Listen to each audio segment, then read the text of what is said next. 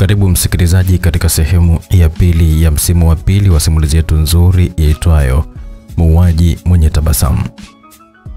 Katika sehemu ya kwanza msimu wa pili tuliishia pale ambapo Amosi alijibu kwamba alikuwa ameridhia kwa asilimia zote na pia yuko tayari kuishi na binti Lilian kama mke na mume. Abadani kabisa hakuzungumzia jambo lile ambalo aliwahi kumtendea siku kadhaa zilizopita. Hiyo ilibaki kuwa nisili yake mwenyewe na moyo wake. Lakini pia Lilian binti Emerson naye pia alikubali kuolewa na mwanaume huyo huku akiwa na laki moyoni. Alikubali tu kuolewa na Amos ingawa moyoni mwake alikuwa na dhamira ambayo aliamini kabisa anakwenda kuitimiza akiwa katika ndoa. Swali lilikuwa ni dhamira gani hiyo? Basi tunazidi kuzama ndani ya vilindi vya bahari hii hapa ili kujua ni yapi yaliyojificha huko chini kabisa ya bahari. Tunaendelea na safari kama ifuatavyo. Alex wa Milazo King ndo mtunzi wa simulizi hii, ndo anayetupa ramani nzima, lakini mimi nakujuza kila ninachokiona katika ramani hiyo ya safari ya kuenda katika kina cha bahari. Nini kilikuwa? Tunaenda na simulizi yetu tamu kweli kweli, muuaji mwenye tabasamu. Najua ni wakati gani aliona yule mwanamke aliyekuwa amefiwa na mumewe, lakini pia bado ninayo maumivu makali sana moyoni mwangu kwa ule udhalilishaji ambao aliwahi kunitendea. Eti leo hii ndo awe mume wangu? Hana sifa hizo abadani. Nitakuja kushangaza ulimwengu kile ambacho nitakachomfanyia. Alijipindua upande wa pili mwa kitanda chake, akashusha pumzi ndefu. Mapigo ya moyo wake alikuwa anamwenda mbio, huku kila mara akishusha pumzi ndefu. Bado alikuwa akimfikiria yule mwanaume aliyeletwa na wazazi wake. Hakuwa tayari kabisa kukubali kuolewa naye kwa kuwa alikuwa amemwachia kidonda ambacho si rahisi moyoni mwake kupona. Uchungu ulimshika alipokumbuka siku ile ya mazishi ya yule mwanaume ambaye alikuwa ni dereva wake pindi alipokuwa amewasili jijini Dar es Salaam kwa dhumuni la kumtafuta Andrea wake. Lakini pia hasira nazo zikampanda alipokuja kukumbuka kitendo kile alichokuwa ametendewa hadharani kabisa mchana kweupe, huku watu mbalimbali wakiwa wanamshuhudia. Matukio hayo yalimfanya kuzidi kumchukia Amosi, nayo roho ya kisasi ikawa imemjaa pima. Alipania kuweza kufanya jambo kwa Amosi, tena jambo lenyewe litashitua kila mtu atakayekuwa amelisikia, aidha kushuhudia umafia huo atakuwa ameufanya. Swali likabaki, je, ni umafia gani?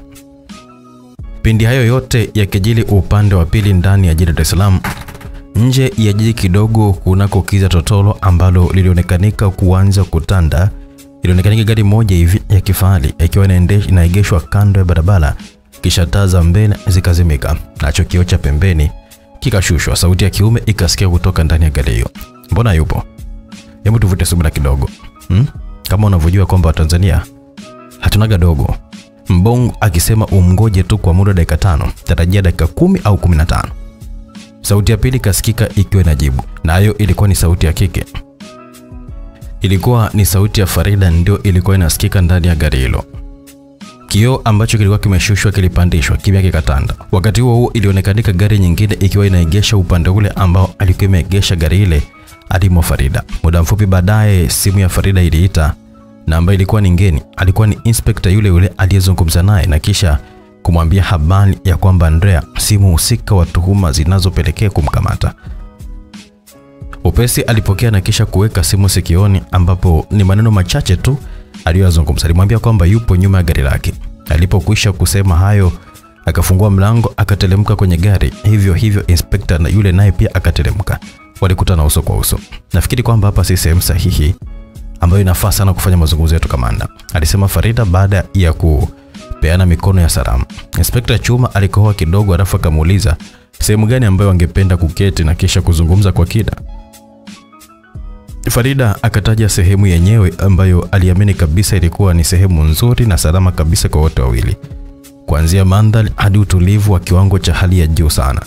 Inspekta Chuma hakuwa na hiana, alikubali, kwani dhumuni lake kubwa ilikuwa ni kutaka kumtia nguvuni Andriano, muuaji ambaye amekuwa ni tishio haswa kwa jeshi la polisi. Kwa hiyo alichokuwa na kihitaji ni mwanamke huyo athibitishe kama kweli yule aliyemkamata na mkumpa mateso ni nani, hali ya kuwa amefanana na Andriano, muuaji mwenye tabasamu. Kila mmoja akarudi kwenye gari lake. Hatimaye safari ya kuelekea huko walikokuwa wamekubaliana ikaanza ambapo walikubaliana kwenda DOB Hotel ambayo iko Kawe Ukwamani. Kwa muda wa dakika 30 wakawa wamewasili mahali hapo. Kulikuwa kuna magari mengi tu ya kifahari ya watu ambao walikuwa wamefika kwa ajili ya kuweza kula na kunywa, wengine kupumzika. Burudani za hapa na pale zilishika hatamu, huku mziki wa kiwango cha chini Sauti isiyokuwa inaumiza masikio ikawa inapenya kwenye masikio ya wale watu ambao walikuwa wamewasili mahali hapo. Farida na Inspector Chuma nao wakawa ni miongoni mwao, wakatafuta sehemu nzuri ambayo wataweza kuketi na kisha kuzungumza kinagaubaga. Walipoketi, mhudumu akaja kuwasikiliza nini ambacho angependa kuagiza. Farida akataja hitaji lake na kisha akamtaka inspekta huyo aagize chochote ambacho angependa kula au kunywa, huku jukumu la malipo akilibeba mwenyewe. Chuma akatabasamu kisha akatumia fursa hiyo, aliagiza msosi wa nguvu na punde wakaletewa vile walivyokuwa wamevihitaji, na sasa mazungumzo yao yakaanza kuchukua nafasi. Alianza kujitambulisha, jina lake alikuwa anaitwa Farida, kisha Inspector Chuma naye akafuata. Wote wakawa wamefahamiana. Naitwa Farida Cosmas. Ah, si vibaya kuanza kutambua na majina, alisema Farida, huku uso wake ukiwa na tabasamu muru ambalo Inspector Chuma aliweza kulishuhudia tu tabasamu hilo kupitia mwanga hafifu wenye rangi rangi ambao ulikuwa umetawala ndani ya ukumbi huo. Uh, niite Inspector Julio Masumbuko, lakini mara nyingi wengi hupenda kuniita Chuma cha Pua. Kwa hiyo jina maarufu kwangu ni Inspector Chuma, alijibu Inspector Chuma, jina tata hilo kiasi kwamba liweza kumfanya Farida kuangua kicheko. Alipokatisha cheko lake akamuuliza, kwa nini umepewa jina hilo? Inspector Chuma huku akiwa na kenua meno akajibu, ni namna gani ambavyo ninavyowakamua tu harifu aiza wale ambao wanatuhumiwa wanaojifanya kwamba wao wana roho ya paka hmm? Nikiri tu kwamba mimi ndiye kiboko yao sasa. Yaani hata kama mtuhumiwa mgumu kukiri kosa, ila akiingia tu ndani ya mikono yangu aise, atataja na vile vitu vingine ambavyo hata hakuwahi kuvitaja. Wote kwa pamoja na Farida na Inspector Chuma akaangua kicheko. Furaha ikawa imetanda kwenye meza ya walioketi. Ehem, nipe maneno sasa, aliongea Inspector Chuma. Ni kweli si mtu ambaye mnadhania. Kwanza shukrani kwa kuweza kuniamini tu na kuacha kuendelea kumpa mateso kijana yule. Dhumuni kula kukuita hapa ni kutaka nikutofautishe kati ya Andrea na Andriano. Hawa ni watu wawili tofauti, ni watu wawili tofauti Inspector, japo wote ni watoto ambao wametoka kwenye tumbo moja, alisema Farida. Akafungua mkoba wake na kuchomoa bahasha ya kaki na kisha akaibwaga juu kwenye meza. Akanyanyua macho yake akamtazama inspekta huyo, na kabla hajasema neno lolote lile, alikutana na swali kutoka kwa Chuma akimuuliza, bado sijakuelewa, una maana gani kuniambia hivyo? Farida alifungua bahasha hiyo, akachoma picha moja, akaibwaga juu ya meza mbele ya inspekta, kisha akasema, utanielewa tu kamanda, lakini kwa sasa hivi hebu itazame picha hiyo hapo kwanza, halafu tuendelee na mazungumzo. Inspekta Chuma alitazama picha ile, lakini bado hakuelewa chote kile, hivyo ikabidi amtazame Farida ili muulize kuhusu taswira hizo anazoziona.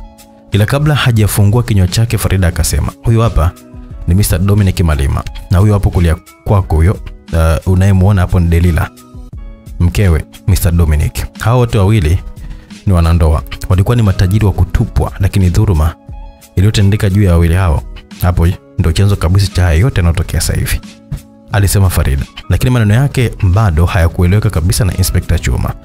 Una maana gani? Bado sijakuelewa bwana, alisema Inspector Chuma. Akanywa funda moja la kinywaji baridi kabisa kilichokuwa kipo ndani ya glasi, alafu akatega sikio lake kumpa nafasi Farida aweze kumwelewesha juu ya kile ambacho amemaliza kuzungumza. Farida akasema, damu ya Mr. Dominic ndo ambayo inasababisha haya yote. Kiherehere chenu ndicho chanzo cha zahama ya mahafa haya, hususan kwa jeshi la polisi. Akanyamaza kimya kidogo, akaingiza mkono wake kwenye bahasha ile kwa mara nyingine tena, kisha akachomoa picha ya pili, akaibwaga mbele ya macho ya Inspector Chuma ambaye aligubikwa na taharuki kubwa mno. Yuko ndani ya sintofahamu nzito kuhusu maelezo ya Farida. Alihisi huenda Farida anacheza na ubongo wake, hivyo naye akaapia moyoni mwake abadani hatoteteleka kwa namna yoyote ile. Lakini picha hii hapa ya pili aliyokuwa amepewa ilimshtua haswa. Alitazama mara mbili mbili na kisha akarudisha uso wake kumtazama Farida. Swali lake akamuuliza, wewe ni nani? Ajabu, Farida akacheka, alicheka sana. Alipokatisha cheko lake akamjibu, ni yule yule mwenda wazimu. Usinitanie ujue, aling'aka inspekta huyu, kisha akanyanyuka akachoma basura alafu akaongeza kusema, nitakupasua ubongo. Sikuitwa chuma kwa bahati mbaya mimi, najua, lakini hata kama utanimaliza utakuwa hujafanya jambo lote lile inspekta. Ya, nimekuwa ni mstaarabu tu kwamba nimekuita sehemu ya ustaarabu tu nikitegemea kwamba hata wewe mwenyewe ungelikuwa ni mstaarabu pia, alijibu Farida huku akionekana asiwe hata na chembe ya uoga. Ustaarabu gani wakati unaleta mambo ya, ya kipuuzi hapa? yani picha hizi zitanisaidia mimi? Chuma akaendelea kufoka, alalama wee, huku akitetemeka shauli ya hasira iliyokuwa moyoni mwake. Wakati yupo kwenye hali hiyo, mara ghafla Farida akachomoa picha nyingine ya tatu. Picha hii iliwaonyesha watoto wawili ambao wamefanana karibu kila kitu. Kilichowatofautisha ilikuwa ni mavazi waliovaa tu. Hii ndio damu ya Mr. Dominic. Miongoni mwa wawili unaowaona, kuna mmoja ndiye muuaji, alafu mwingine hausiki na chochote kuhusu vifo hivi. La, la, la, lakini kwa nini anaamua kabisa kufanya huu nyama? Huku akiwa anashikwa na kigumizi, Inspector Chuma akajisemea, mzee Songo Mbingo, mzee Faruk na mzee Emerson, mabilioni hawa ndio chanzo kabisa cha yote. Kwa kuwa uko hapa, nitakwambia kila kitu kuhusu haya mambo na namna jinsi alivyoweza kudanganya kifo, alisema Farida. Niko hapa kusikiliza ilikuwaje, alifanyaje fanyaje wakati kila mmoja alishuhudia kabisa jeneza la mwili wake vilikuwa vinashuka chini hmm? na kufukiwa kabisa. Kwa shauku kubwa Inspekta Chuma alisema, lakini Farida akasita kuzungumza baada ya kupokea ujumbe mfupi uliokuwa umeletwa na mhudumu. Ujumbe huo uliambatana na picha zao wawili, kati yao yeye pamoja na Inspekta Chuma. Picha zao hizo zilikuwa ni za kuchorwa. Ujumbe huo ulimpa onyo dhahiri, ukamfanya amini kabisa Moko yuko ndani ya kumbi hiyo. Pindi anastajabishwa na jambo hilo, huku upande wa pili hospitali wodi ile ambayo alikuwa amelaza Andrea hakuwepo, alipotea katika mazingira ya kutatanisha. Walikuwa wamechorwa vizuri, mchoraji alikuwa amewapatia kwa asilimia mia moja, hakuwakosea hata kidogo. Farida akabaki kushangaa, alinyanyua uso wake kutazama kila pembe ya kumbi ile, lakini hakuna alichokuwa amekiambulia kuona zaidi kwamba kila mmoja alikuwa bizi na mambo yake tu. Inspekta Chuma naye alisha kumwangalia tu hata asijue ni kitu gani kinachomsibu mwanamke huyo, lakini mwisho akamuuliza, mbona sikuelewi, kuna tatizo? Ndiyo, tena sio kidogo, alijibu Farida. Tatizo gani hilo? Inspekta Chuma akamuuliza. Wakati huo naye alikuwa akiangaza macho yake kutazama huku na kule, hata asielewe chochote kile. Wakati huo Farida alikuwa akimwonyesha karatasi ile yenye mchoro wao. Mungu wangu, alishtuka Inspekta Chuma. Hakuamini kabisa macho yake juu ya kile alichokuwa nakiona. Pindi yupo kwenye taharuki hiyo, Farida alichukua mkoba wake akauvaa begani, kisha akanyanyuka kwenye kiti kwa lengo la kuondoka, lakini kabla hajapiga hatua hata moja, Inspekta Chuma akamuuliza wapi anakwenda. Akaenda mbali zaidi na kumkumbusha lengo na dhumuni kuu ambalo lilikuwa limempeleka wakutane Maarabu. Ila licha ya inspekta huyo kulalamika, hali ikawa ni tofauti kabisa kwa Farida. Kamwe hakuwa tayari kumsikiliza Inspekta Chuma anasema nini. Hali hiyo ikazidi kuzua sokomoko baina yake na Chuma, ambapo Inspekta Chuma aliapa kula naye sahani moja na Andrea, na pia hakuwa tayari kabisa kusikiliza maneno ya Farida kwa mara ya pili.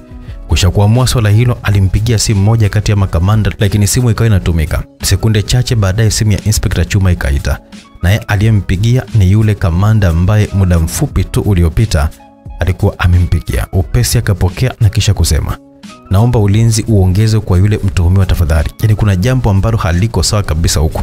Umenipata? Mkuu, dhumuni la kukupigia simu ni kutaka kukupa taarifa kwamba mgonjwa haonekani. Mbaya zaidi ni kwamba hakuna muuguzi yote ambaye anajua alikoelekea. Alijibiwa Inspekta Chuma. Ati nini? Huu hapa ni ufara mliofanya. Inawezekana vipi eh? Yaani haingii kabisa akilini hata kidogo. Mara ya mwisho alikuwa oi bini tabani kiasi kwamba hawezi hata kutoroka. Siamini kabisa kama eti ametumia nguvu zake ujanja ujanja tu, mapicha picha tu ambayo mnayaleta hapa, si ndio? Alalamika Inspekta Chuma, hata siamini kabisa juu ya kile ambacho alikuwa ameambiwa na inspekta mwenzake. Taarifa za Andrea kutoweka zilimshtua sana. Nipe dakika kumi na tano nitakuwa niko hapo eneo la tukio. Hakika kiani kila mmoja atawajibika tu kwa nafasi yake. Mwisho alisema Inspekta Chuma, na kisha akanyanyuka kwenye kiti alichokuwa ameketi akaelekea kule lilipokuwepo gari lake. Dakika tano baadaye tayari alikuwa yuko barabarani.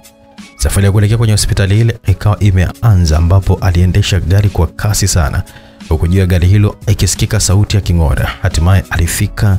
Alipofungua mlango, tayari askari wenzake walikuwa hapo kando yake wakipiga saruti na kuelekea ndani ya wodi aliyokuwa amelazwa Andrea. Inspekta Chuma akaitazama wodi yote kuanzia kitandani mpaka mlangoni, mwisho akatikisa kichwa, ishara ya kukubaliana na jambo fulani hivi, hali ya kuwa Muda huo huo daktari aliyekuwa akimuguza Andrea aliingia wodini, mm, nafasi ambayo Inspekta Chuma alikuwa ameitumia. Alichomoa pingu na bastola akamnyoshia, huku uso wake ukiwa umekunjwa ndita kwelikweli, wakati wa daktari naye akidiliki kuinua mikono yake juu na kuahidi kabisa kutoa ushirikiano wowote ule ambao mm, wa kuweza kung'amua ni wapi alikokimbilia mgonjwa yule kijana Andrea. CCTV kamera, nitamsema kweli hapo alisema daktari huyo ambaye tayari Hofu ya kukamatwa alikuwa imeanza kumjaa. Makamanda hao waliuliza ni wapi kilipo chumba maalum cha mitambo yao. Haraka haraka alitoa maelekezo, nao pasi kupoteza muda wakaelekea huko. Walitazama matokeo ya nyuma ambayo yalikuwa yametokea ndani na nje ya jengo hilo la hospitali hiyo. Hatimaye wakapata kuona gari aina ya Noah nyeupe ikiegesha nje ya geti la hospitali hiyo. Gari hiyo iliegeshwa eneo tofauti na eneo anapoegeshwa magari mengine. Dakika kumi zilipotea bila kutoka chochote kile kwenye gari ile, na baadaye kidogo mlango ulifunguliwa na akateremka mtu mmoja ambaye hakutambulika sura yake, kwani aliipa mgongo kamera ya ulinzi ambayo ilikuwa imetegeshwa kwenye jengo hilo. Alipoigeukia tayari uso wake alikuwa ameshauziba maski. Sasa walimwona akiwa anatembea huku akiwa anatazama kila sehemu kama mtu mwenye mashaka hivi. Punde si punde katoweka, hakuweza kabisa kumwona tena. Mtaalamu wa mitambo hiyo aliendelea kupekua pekua tu, punde akaona mwendelezo. Safari hii yule jamaa alimwona akiwa amemkaba mmoja kati ya wa wauguzi, alimpiga kitu kizito kichwani ambacho kiliweza kupelekea kupoteza fahamu. Upesi upesi wakamwona akiwa anamvaa yale mavazi ya kidaktari, kisha akaendelea na safari yake tu mpaka kwenye ile wodi aliyolazwa Andrea. Alikivuta kitanda kile chenye magurudumu manne akatoka nacho wodini, huku uso wake ukiwa ameuinamisha, hali ya kuwa Andrea alikuwa yuko pale juu ya kitanda akionekanika kufunikwa mwili mzima mithili ya maiti. Alipita bila wasiwasi wowote ule. Miongoni mwa watu ambao walimshuhudia Andrea akitolewa hospitali hapo ni wale askari waliopewa jukumu la kumlinda, hivyo waliishia tu kusikitika tu kwamba hata wasijue kwamba yule mtu waliokuwa wamemweka chini ya ulinzi ndiye ambaye anapitishwa mbele yao. Wakastaajabu, wakajikuta wakitazamana tu, huku kila mmoja akitikisa kichwa kwa eh, kukiri kwamba kuzidiwa maarifa na yule mtu aliyekuwa amemtorosha Andrea. Basi hakuna kilichokuwa kinaendelea tena. Zile video ambazo zilikuwa zimenaswa na kamera, baada tu ya hapo zikaonekanika kusitasita, mwisho zikazimika kabisa, ingawa tayari walikuwa wamejua kitu kilichofanyika. Huu ni ushahidi wa kwanza kabisa, lakini bado kuna mashaka hapa, yaani kuna njama potofu ambayo imehusika kabisa hapa kwa namna moja ama nyingine. Haiwezekani kabisa mtu anaingia namna hii alafu anafanikiwa kuondoka na mgonjwa kiolela kabisa kiasi hiki. Hakuna haja ya kutegesha makamera yenu hapa. Yaani dhahiri kabisa inaonyesha kwamba ulinzi ni sifuri kabisa kwenye hospitali. Kwa maana hiyo ni kwamba hata hawa wanaofanya biashara za mioyo ya watu na figo ni rahisi kabisa kuweza kuingia humo na kuondoka bila hata kugundulika. Kesho nitamtaka huyu mtu anayehusika hapa mitamboni na vilevile nitamtaka mganga mkuu wa hii hospitali. Hawa watu wanayo majibu halisi kabisa ya nini ambacho kimetokea mndani. Ah, si mmepiga ngoma basi mtaicheza wenyewe, aliongeza kusema Inspector Chuma kwa hasira isiyokuwa na kifani, alafu akaondoka na kikosi chake. Walipotoka nje ya jengo hilo la hospitali, mmoja kati ya askari hao aliokuwa nao walimuuliza kuhusu mrejesho wa kile ambacho alikwenda kusikiliza kwa yule mwanamke aliyemwita. Inspekta Chuma akaongea kila kitu kilichojiri huko, na wao walipigwa na butwa kusikia jambo hilo, hasa hasa talanta aliyoonyesha mchoraji husika, kwani hata picha aliyoonyesha na wakashuhudia. Huyu ni mtu au mzimu? Kamanda mmoja hivi aliropoka huku akiwa anautazama ule mchoro wa kiwango kikubwa sana. Ni yeye. Askari mwingine aliunga mkono huku akiupokea mchoro huo. Inaonyesha kwamba unamfahamu kinagobaga eh. Inspekta Chuma alimgeukia askari huyo aliyekuwa amesema kwamba ni yeye, kisha akamuuliza swali hilo. Ndio, katika ule upelelezi wa miaka mitano iliyopita kabla ya kutokea aliyokuwa ametokea, jamaa tuligundua kwamba ana, anacho kipaji kikubwa sana cha uchoraji. Ndio kazi yake kubwa ambayo ilikuwa ikimwingizia kipato. Namaanisha kwamba Moko alikuwa ni miongoni mwa watu ambao walikuwepo mara pale, na ndio maana ameweza kabisa kuwachola jinsi mlivyo pasipo kukosea hata kidogo. Na huyu Dominic alikuwa ni nani? Inspekta Chuma akaongeza kuhoji. Alikuwa ni tajiri mmoja mkubwa sana, lakini baadaye alifilisika tu kabla ya kupoteza maisha. Askari mwingine akajibu, vipi, una dondoo zozote zile? Yaani nikimaanisha kwamba alifilisika kwa namna gani? Yaani alikuwa ni mtu wa starehe sana, aidha alifilisiwa na serikali kwa maana ya kuhujumu uchumi, au ilikuwaje kuwaje tu mpaka labda eh? Aliongeza kuhoji Inspekta Chuma Chapua. Ah, hapana. Tena alikuwa ni mtu poa kwenye jamii, alikuwa ni mtoaji misaada kwa watu wasiojiweza, alijibu askari huyo akimwelezea kidogo mtu aliyeitwa Dominic. Sasa kwa nini mwanaye anaamua kabisa kufanya umafia huu? Tena mbaya zaidi kwamba anaua askari. Kwa nini asile sahani moja na watu ambao walioteketeza utajiri babake eh? Alisema Inspekta Chuma. Nao hawakuwa na lingine la kuongeza zaidi ya mmoja wao alifungua kinywa chake na kusema kuwa acha inyeshe tu ili pajulikane panapovuja. Wakati huo wote walitambua fika kwamba kuendelea kufuatilia Moko ilikuwa ni sawa na kuweka roho zao rehani, lakini hawana budi kufanya hivyo, kwani hata wasipofanya hivyo huenda ikawa ni kazi nyepesi sana kwa Moko kuendelea kufanya mauaji. Wakati hali ya sintofahamu ikiwa imetanda mioyoni mwa askari hao, sasa wanashitushwa na kupotea kwa Andrea ambaye alikuwa ni mtuhumiwa wao. Huku upande wa pili nako ndani ya ile makaburi ya Kisutu ilisikika sauti mbili. Moja ilikuwa ni sauti kama ya Andrea, huku sauti nyingine ikiwa ni sauti ya kike. Walikuwa wakizungumza. Kwa nini mmeamua kufanya vile? Ina maana kwamba unanisaliti, si ndio maana yake? Sina maana hiyo Andriano, ila tu ni kwamba nafanya vile ili tu mdogo wako awe salama. Kufanana kwenu kuna mponza, ni vile tu kwamba hujui tu. Kwani sasa usiamue tu kukamilisha azima yako tu moja kwa moja ukaacha kuendelea tu kufanya kazi hmm? Wabaya wako wote umeshawatambua, utajiri wa mzee wako bado ameushikilia. Huu ndio wakati sahihi kabisa wa kuweza kumiliki utajiri wa mzee wako. Hata kama si wewe, basi mdogo wako Andrea anaweza kabisa kuyafaidi matunda walioacha wazazi wenu. Tafadhali Adriano, ambia sikilize maneno yangu na uyatii. Huu ni ushauri mzuri kabisa ambao utaweza kabisa kukusaidia wewe kwa namna moja ama nyingine. Kumbuka ni yapi walionitendea hawa watu. Haki wameisiliba, walitanguliza mbele maslahi kuliko haki yenyewe. Najua kabisa kwamba utajiri utarudi mikononi mwetu, lakini pia cha moto atakiona. Mzee Songo Mbingo na mzee Emerson na mwenzie Faruk, hawa ni viumbe ambao kila mmoja nitahakikisha kwamba anakufa kifo kibaya sana.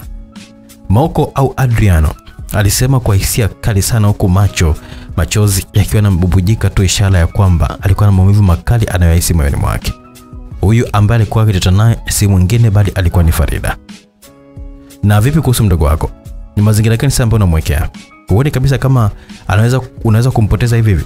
Sasa huo utajiri unaopigania hapo utakuwa na faida gani wakati tayari mdogo wako hayupo tena ulimwenguni? Alisema Farida huku akimgusa bega Adriano. Kwa hiyo unataka nikamatwe, si ndio manake? Au unataka nikamatwe ili Andrea awe huru? Hmm? Ana maisha gani pale alipo? Yale maisha ya kwangu pakavutia mchuzi. Andrea hastahili kuishi maisha yale ya shida tu, huku wale ambao mali sio zao wanaishi maisha ya starehe, wanakula wanachokitaka eh? wana kila aina ya maisha bora? Fikiria namna ya kumlinda mdogo wangu na sio kuwapa mbinu maadui zangu. Nipo tayari kabisa kufa kwa ajili yake, na ndio maana maisha yangu kwa sasa nimeyaweka rehani kwa sasa, alisema Moko. Ina maana unajua kabisa kama Andrea yupo mjini kwa sasa? Farida alijiuliza baada tu ya kuyasikia maneno ya Moko. Wakati bado anayatafakari maneno hayo, ghafla Moko akaongeza kusema, najua utajiuliza kwamba nimejuaje, aidha nimeona naye vipi. Huna budi kuumiza kichwa chako eti kwamba nimejuaje kama Andrea yuko mjini. Tena nilikuwa ni mbaya sana kwa huni ambao alikuwa anajaribu kumzuru kwa namna moja ama nyingine eh? Kwa hiyo wewe ndo msaada pekee uliobakiwa wa kumlinda Andrea na kulinda mimi hapa. Usikate tamaa tafadhali, wala usichoke kutusaidia tu katika hili, kwani nipo kuyabadilisha maisha ya mdogo kipenzi. Sawa, nipo tayari, na pia nisamee kama nitakuwa nimekuudhi tu kwa namna moja ama nyingine eh? Unasakwa kila sehemu ujue kila askari hapa mjini anakutamani, maana umekuwa ni kama chambo ambacho kimetupa kwenye kina cha bahari yenye samaki wengi sana wenye njaa. Kwa hiyo kuwa makini Moko. Na vipi kuhusu watu wako ambao wanakupa taarifa zilizojiri kwa mtaani? Amebaki mmoja tu kati ya watoto ambao niliokuwa nao, wengine wote wamepotea katika mazingira ya kutatanisha. Mungu wangu, lakini vipi, yuko vizuri? Je, anakuletea taarifa sahihi kwa wakati sahihi kweli? Um, anajitahidi lakini hata hivyo anafanya kazi kubwa sana, alijibu Moko akimlenga kijana Dungu ambaye ndiye amebaki naye. Hakujua kama tayari Dungu naye amepoteza maisha baada tu ya kukutana na kipigo kikali kutoka kwa wazikaji ambao walimuua na kisha kumzika kwenye kaburi ambalo aliwahi kuzikwa mtu mwingine.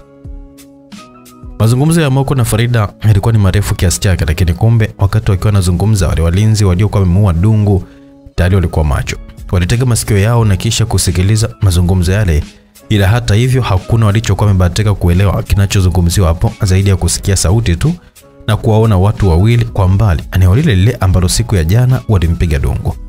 Umegundua nini? Mlinzi mmoja alimgeukia mwenzake na kisha kumuuliza. Wamesimama pale pale tulipokuwa tumemkungutia yule jamaa. Safi, ila bado hujanipa jibu sahihi. Lipi sasa ambalo nataka? Nitarajia kwamba utaniambia kwamba hawa watu wamekuja kumwangalia mwenzao baada ya kuona kwamba hatokei. Kwa hiyo wanataka kusema kwamba lazima watakuwa na mzigo. Mwendo wetu ni ule ule, pesa mbele kwa kuvunja taratibu za kuingia humu ndani pasipo idhini yetu. Endapo kama watashindwa, basi tuhakikishe kwamba tunavunja vunja miguu yao. Hapo nimekusoma. Shika panga, mimi nishike nondo na nyundo. Um, kuna haja ya tochi? Lazima tuende nayo, tutambue sura zao kwanza kabla ya yote. Nafikiri kwamba hii itakuwa ni kasumba ambayo wameizoea sana hawa, kwa hiyo lazima tuende kuikomesha kabisa. Walinzi hao walitoka ndani ya kijumba chao polepole, wakazipiga hatua kuelekea kule waliposimama Moko na Farida. Kabla hawajafika tu eneo lile, ghafla Moko akamtaka Farida achuchumae. Alifanya hivyo mwanamke huyo. Wakati huo huo, Moko akakoki vyema bastola yake, alafu akapiga risasi tatu angani. Walinzi hao kila mmoja alishika hamsini zake. Walikimbilia nje kabisa ya makaburi hayo, ambapo huko nje walikuta kalandinga la jeshi la polisi huku kando ya kalandinga hilo akionekanika askari sita wakiwa wamesimama kidete, wakati askari mmoja akionekana kulichunguza kwa macho gari alilokuwa amekuja nalo Farida. John, John, John, John, John, John. Sauti yenye mamlaka ilisikika ikiwa inatoka kwa mmoja kati ya askari waliokuwa mara hapo. Askari huyo alikuwa akiwaita walinzi wale ambao walikuwa wamekimbia baada ya kusikia mlio wa risasi, mlio ambao hata wao pia askari walikuwa wameusikia. Walitii wito kufumbana kufumbua, walinzi wakajikuta wapo katikati ya askari yao. Ninyi ndo ambao wahusika wa eneo hili, ndio? Askari huyo aliyewaita kawauliza. Ndio, ndio afande, ni sisi, alijibiwa na mmoja. Safi, tunahitaji ushirikiano wenu katika ile, aliongea. Akaongeza kusema askari yule kwa sauti ya juu, huku kijasho chembamba kikimtweta. Um, nyakati za usiku kuna wageni waga mnapokea? Kisemeni tu ukweli, itakuwa ni jambo jema tu kama mtasema ukweli kuliko kuamua kudanganya. Ndio afande kuna watu wanakuwa wanakuja kuchukua viungo vya maiti na kuna wengine ambao wanakuja kufanya matambiko yao tu kwa malipo. Ndio, ndio, lakini wengine huaga tunashtuka tu kwamba wameingia tu ndani pasipo hata si wenyewe kuwa na taarifa. Viungo vya maiti, kwa maana kwamba hulazimika kufukua kaburi? Ndio, ndio afande. I say hani zaidi ya maajabu. Na vipi huyu mwenye hili hapa gari mmebahatika kumwona? Na ndiye aliyefyatua risasi. Inaonekana kabisa ni, ni majambazi hao. Wapo wangapi? Wawili, mwanamke na mwanaume. Asante sana kwa ushirikiano wenu. Hey, kamanda, wavishe pingu wapande kwenye karandika hawa. Amri ilitoka. Walinzi hao licha ya kuzungumza ukweli ambao waliamini kabisa kwamba utawacha huru, lakini walijikuta wakitiwa hatiani. Walifungwa pingu na kisha kupandishwa kwenye gari lao walilokuwa wamewasili nalo mara hapo makaburini. Kamanda huyo aliyekuwa akiwahoji alichafukwa na roho vibaya mno. Hakujua kama kuna watu ambao hufanya shughuli hizo nyakati za usiku. Mara nyingi alizoea kusikia tu mambo haya yakifanyika kwenye hoteli mbalimbali, lakini leo hii alipata kusikia kuwa eh, hutendeka hata pale mtu anapokuwa amepoteza maisha na kuzikwa. Dunia imekwisha ese. Yaani hii vita ya kutokomeza madawa haiwezi kabisa kuisha ulimwenguni. Lakini pia kitendo hiki ndiko ambacho kinanipa picha kamili ya kwamba jamaa kuzikwa kisha baadaye kuonekanika mtaani. Yaani ila sasa inawezekana kabisa vipi mpaka eti jeneza lake pia linaf, linafukiwa? Anapumzi kiasi gani aise? Hawezi kabisa kuvumilia mpaka pale atakapokuwa ameokolewa ujue.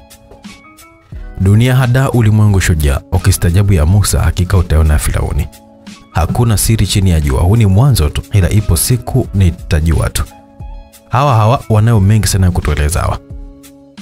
Tafakuri nzito bwana ikawa imetanda kichwani mwa kiongozi huyo wa msafara wa polisi ambao walikuwa wamewasili mara hapo. Majibu aliyokuwa amepewa na walinzi wa makaburi hayo yalimfanya kushangaa ulimwengu kwa ujumla, sanjari na kufikiria kuwa ushenzi wa kufukua makaburi ndio mbinu ambayo aliyokuwa ameitumika kwa Moko kurudi tena ulimwenguni, licha ya taarifa za awali kusambaa kwamba alikuwa amefariki tena. Kwenye mazishi yake, maelfu ya watu walifurika kumzika, ila hapo hapo ubongo wake ni kama ulikuwa unawaka moto, kushindwa kuelewa ni pumzi gani aliyotunukiwa kiasi kwamba eti akaweza kuvumilia tu kukaa ndani ya jeneza muda mrefu mpaka pale kaburi lake litakapokuwa limefukuliwa. Kipindi hayo yakiwa na jili kichwani mwa askari huyo, huku upande wa pili nako Farida alimwaga Moko akihitaji kuondoka zake, ambapo alifikiria kurudi hospitali kuhakikisha kwamba Andrea anakuwa salama. Hakujua kuwa kuna mtu alionekana akitokomea na Andrea kusikojulikana kama ambavyo mtu yule alivyokuwa asiyejulikana. Pia Farida hakujua kwamba nje ya kuta ngumu ambazo kazi kama kaburi hayo ya Kisutu walikuwa na jeshi la polisi ambalo lilikuwa na mngoja mmiliki wa gari hilo walilikuta nje, huku mmiliki akiwa niye mwenyewe.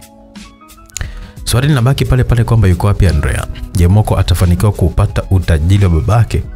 Na ilikuwaje kuwaje tu mpaka Farida akajifanya kichaa? Kuna mengi sana ya kujiuliza, lakini safari bado inaendelea. Tuko na nyambizi yetu, tunazidi kuzama ndani, wazungu wanaita submarine, ndani ya bahari hii yenye kiza kizito kwelikweli, lakini taa ninayo mimi na Murika na dhamani ametupa Alex wa Milazo King. Basi mimi taendelea kujuza yote yatakayokuwa yanaonekana katika macho yetu, ili na wewe upate kushuhudia kilichojili ndani ya simulizi Muuaji Mwenye Tabasamu. Sawa, unaweza kwenda, lakini kumbuka kutekeleza aliyokwambia. Usijali, nitatekeleza tu. Kwa heri Adriano, tutaonana wakati mwingine. Kwa makini na kutegemea sana. Farida aliondoka zake baada ya kuagana na Adriano, lakini kabla hata hajatoka ndani ya wigo wa makaburi yale, Machele akamcheza. Punde si punde akaona watu wawili wakiwa wanaingia ndani ya wigo ule, huku mbavuni wakiwa wamebeba mitutu ya bunduki. Farida akajificha nyuma ya kaburi ili watu wale wasije kumwona, ingawa yeye aliweza kuwaona mwanzo mwisho kupitia mwanga hafifu uliokuwa unaletwa na mbaramwezi ambayo ilikuwa ikiangaza mara pale. Ni askari. Eh, Mungu wangu, wamefuata nini huko nao? Ina maana kwamba wameshajua kwamba Dion yupo huko. Alijiuliza pasipo kupata majibu ya maswali hayo ambayo yalikuwa yakilindima kichwani mwake. Alitetemeka, hofu nayo ikamjaa pima. Wakati huo ngoma za masikio yake zikisikia mazungumzo waliokuwa wanazungumza watu wale ambao walikuwa ni maaskari. Atakuwa anajua kila kitu, kwa hiyo mwisho wa siku ni kwamba lazima apewe dozi itakayomfanya aseme ukweli pasipo kumung'unya maneno. Farida akasikia bunduki na kuokiwa. Punde askari mwingine akasema, hakika yaani tena jukumu hili naona kabisa kwamba litamfaa Inspekta Chuma cha Pua. Anajua kabisa kutesa yule kiumbe. Yote hayo Farida alikuwa anayasikia. Alisikia namna ambavyo Inspekta Chuma cha Pua anavyopigiwa upatu wa kumtesa yeye pindi atakapokuwa amekamatwa. Jambo hilo likamfanya awe makini kuhakikisha kwamba hanaswi na kamanda hao, kwa kuwa alijua fika kwamba utakuwa ni wakati mgumu sana upande wake endapo kama ataingia kwenye anga zao. Vile vile litakuwa ni balaa zito sana pindi Inspekta Chuma atakapokuwa amepewa jukumu la kumhoji juu ya ukweli wanaoutafuta wanaotaka kujua kutoka kwake.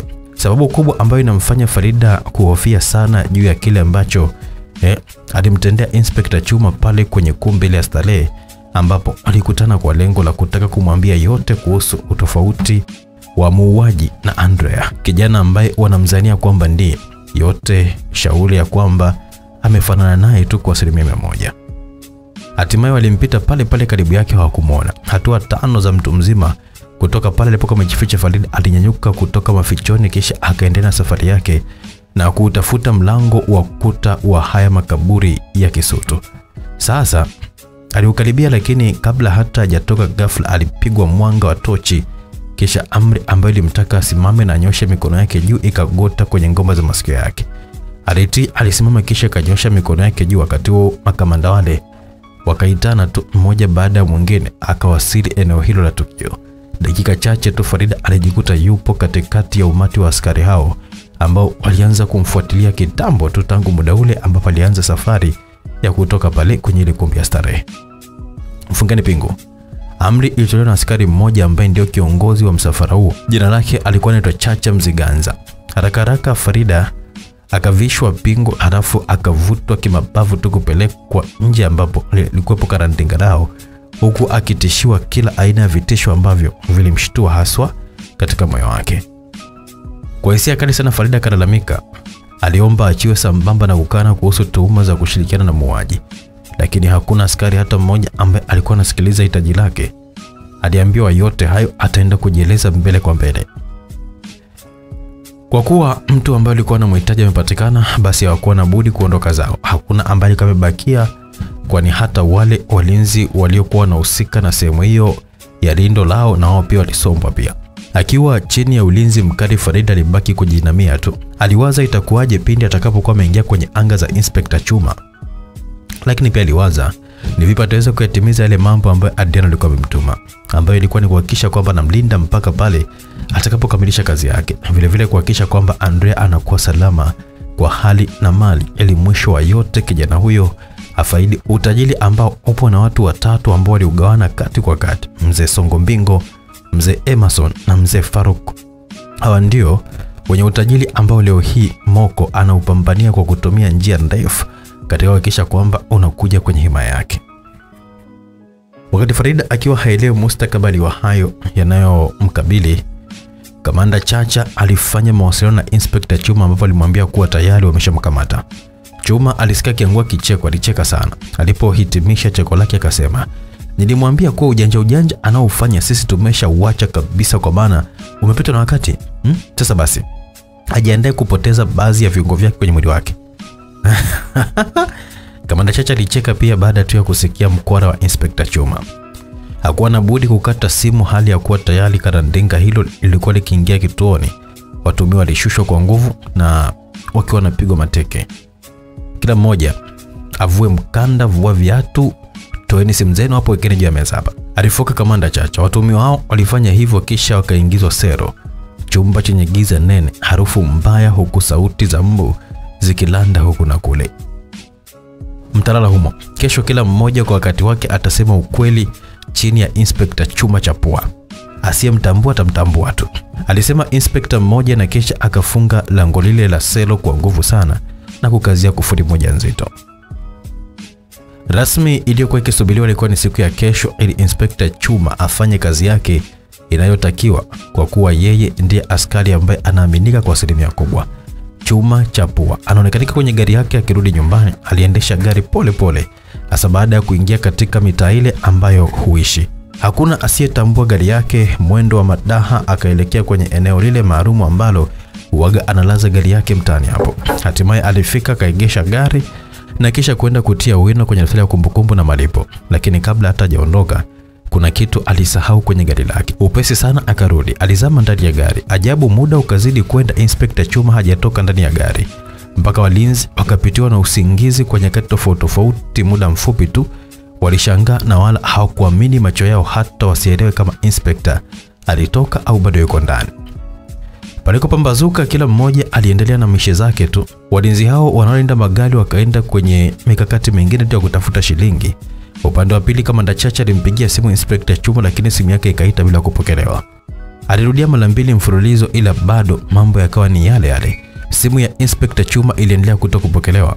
Jambo hilo limshtua sana Kamanda Chacha. Alijisonya tu mara kwa mara, huku akijiuliza imekuwaje inspekta huyo asipokee simu, hali ya kuwa tayari alijua fika kituoni kulikuwa kuna mtuhumiwa muhimu mno ambao wanatakiwa kuweza kuhojiwa juu ya kuhusu muuaji anayetabasamu. Lakini pia wakati huo huo kuna walinzi wa makabuli hawa nao pia ndio watakaoeleza namna gani jamaa alifanikiwa kutoka salama kwenye jeneza ambalo eh, ulitiwa mwili wake, huku kila mmoja akijua fika huo ndo ulikuwa mwisho wake. Chuma yuko wapi mpaka asipokee simu? Kamanda Chacha alijiuliza. Akanyoa uso wake kutazama saa ya ukutani. Mshale wa saa ile ulionyesha muda ilikuwa ni saa nne kasorobo. Chuma bado hajawasili. Hali ya wasiwasi ikamjaa moyoni mwake, moyo ukawa mzito, huku mara kwa mara akishtuka. akajishangana na kujiuliza ni jambo gani labda ambalo alikuwa anataka kutokea au limetokea. Kabla hajapata jawabu la hicho anachokifikiria, askari mwenzake ambaye alikuwa yuko pembeni yake akamuuliza, Chacha, vipi naumwa? Mbona upo tofauti sana na siku nyingine?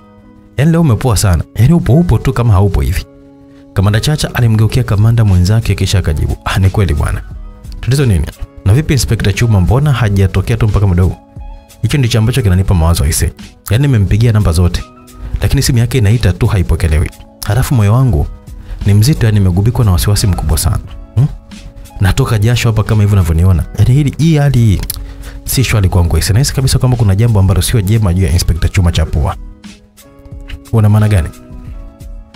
Kabla kamanda Chacha hajamjibu kamanda huyo swali lake, mara ghafla runinga ambayo ilikuwa iko ukutani ndani ya ofisi ya kituo cha polisi ilionyesha habari kwa ufupi ambayo ilikuwa imetokea hivi punde. Habari hiyo ikaelezea juu ya kifo cha Inspekta Chuma Chapua ambapo mwili wake umekutwa ndani ya gari lake huku akiwa ameuliwa kikatili sana. Wakati taarifa hiyo inaendelea kusomwa, simu ya Inspector Chacha ikaita. Namba aliyoiona ilikuwa ni ya Inspector Chuma, mtu ambaye anatangazwa kwamba ameaga dunia. Katika hali isiyo kawaida, Sinza, mtaa wa chumvi nyingi jijini Dar es Salaam, mwili wa Inspector Julio Masumbuko maarufu kama Chuma Chapua amekutwa ndani ya gari huku akiwa amejeruhiwa vibaya mno. Taarifa tulizozipokea hivi punde kutoka kwa mmoja kati ya mashuhuda anaeleza kwamba Inspekta Chuma aliegesha gari lake eneo husika ambalo mara nyingi waga anaegesha usafiri wake huo mara hapo. Ah, Inspekta kuja gari lake, nakumbuka kwamba ilikuwa ni mnamo mida ya saa nne kasoro hivi aliegesha gari alafu akawa amekuja kusaini kwenye daftari letu hapa ambalo ni mahususi kabisa kwa kuandika jina la mwenye chombo chombo chake na aina ya chombo alichokuwa, kama ni pikipiki basi, kama ni gari aidha bajaji, pia namba ya simu, bila kusahau saini. Basi alifanya vyote hivyo, ila kabla hajaondoka ni kama vile kuna kitu alikuwa amesahau ndani ya gari lake hmm? Basi hata kuweza kuondoka, karudi ndani ya gari. Hapo hakutoka tena mpaka asubuhi hapa, ambapo tulishtuka tulipokuwa tumeona damu zikiwa zinavuja kwenye gari, na ndipo tulipoamua kuweza kung'oa mlango, tukakuta inspector akiwa amekufa na amekatwa ulimi, vilevile alikuwa amejeruhiwa tumboni. Alisema shuhuda huyo. Yote hayo kamanda Chacha na kamanda wenzake walikuwa wakiyashuhudia kupitia runinga ambayo ilikuwa kwenye kuta za ofisi yao. Ni yeye muuaji mwenye tabasamu, alisema kamanda Chacha, na kisha kukata simu ambayo ilikuwa ikiita muda mrefu, huku namba ambayo ilikuwa ikimpigia ilikuwa namba ya Inspector Chuma ambaye kwa sasa ni marehemu, amekufa. Aina ya vifo ambavyo askari wenzake wamekufa. Chacha akaenda mbali zaidi, akaamua kuzima kabisa runinga hiyo kwa hasira, kisha akamtaka kamanda huyo ambaye alikuwa akizungumza naye mara moja waelekee sehemu ya tukio. Mwendo wa nusu saa walifika, walivaa nguo za kiraia tu.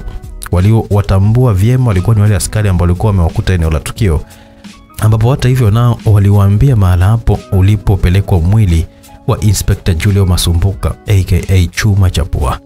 Da, hata hivyo siamini kabisa kama eti leo hii Inspector Chuma Chapua amekufa. Tena mbaya zaidi amekufa kifo cha kikatili sana.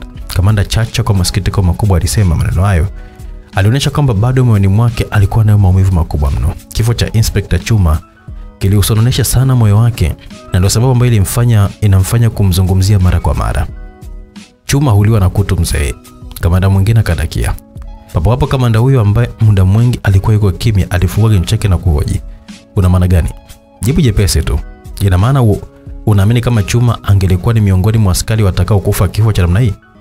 Huyu aliyefanya hivi ni yule yule muuaji wa siku zote hilo wala hata halina mjadala na halihitaji kabisa akili ya ziada kuweza kulitambua, alijibiwa.